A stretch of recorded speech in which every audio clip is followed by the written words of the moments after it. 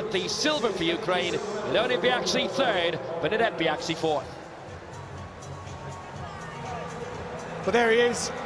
Markus Rehm with his fifth attempt in the men's long jump T44. No surprise, he's in first position, 794. Well, that one is massive indeed. He's got the white flag for it.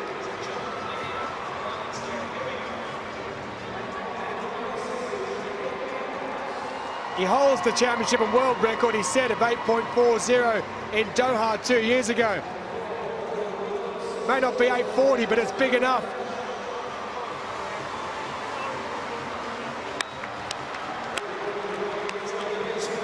Eight metres exactly for Markus Rehm. First and likely goal for him.